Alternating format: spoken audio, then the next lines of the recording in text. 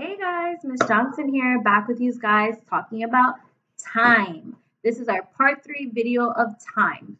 So far, up until now, we have talked about our analog clock, and we've learned that we have a shorthand that is the hour hand, and we always read this one first, and our minute hand that is the long hand that we read after the shorthand.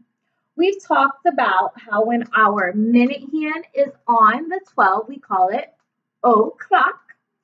And we talked about when our hour hand is on a number, we read it, but also we talked about what will happen if our hour hand is stuck between two numbers.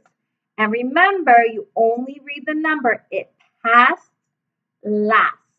If it did not touch the number or it passed the number, we do not say that number. So right now, if I'm looking at these two, it would be 5 the number would be 5 that I would read. So up until now, we've only talked about those things and telling time to the hour. Now, today, we are going to talk about time to the hour, but with our digital clocks.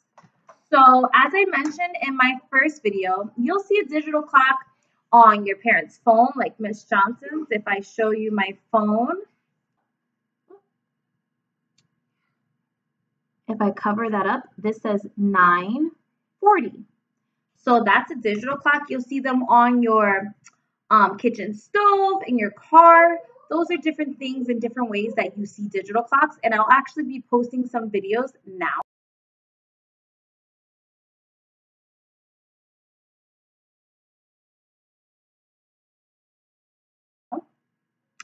And in those videos, you should have seen different forms of digital clocks.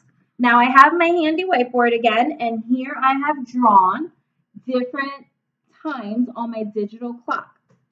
Excuse me. Now, the number that is here on the digital clock, I wrote a big one right here. It says 7. That one is our hour. Just like our hour hand, our baby hand, this is going to be our hour. Then we have our two dots and then our numbers that come after it are our minutes. So this side is our hour, and this one is how many minutes there are.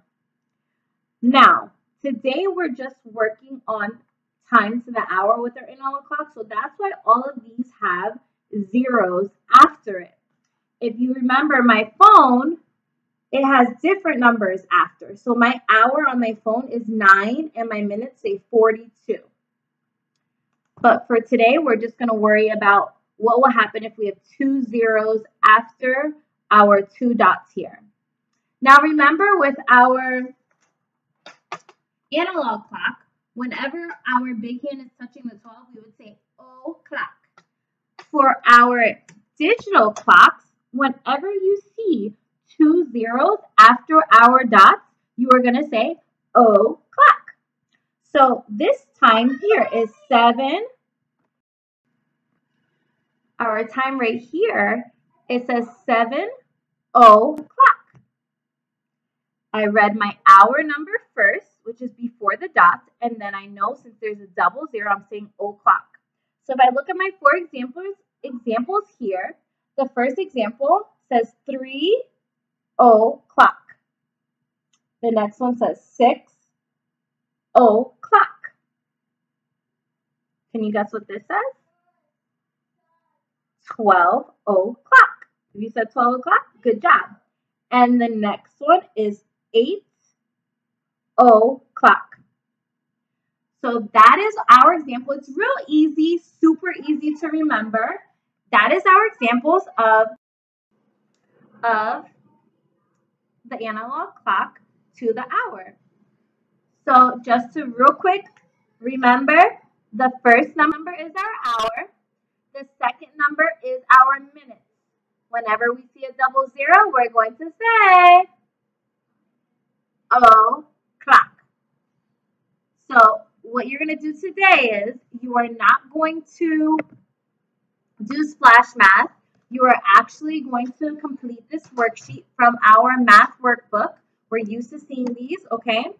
And I'm going to add a picture to our um, class dojo, and your teacher will as well. If you're if you're not in my class, you will receive this as well. And it's going to just be of our analog clock, which we already know how to read now. And if you forget, go back to my other videos, and that will help you remember how to read our analog clock. And you're just going to be practicing writing it into our digital clock. So remember our hour, our number that we read first goes first. And then after the dots, you would put your double zero to represent o'clock. All right, guys, super simple, super easy.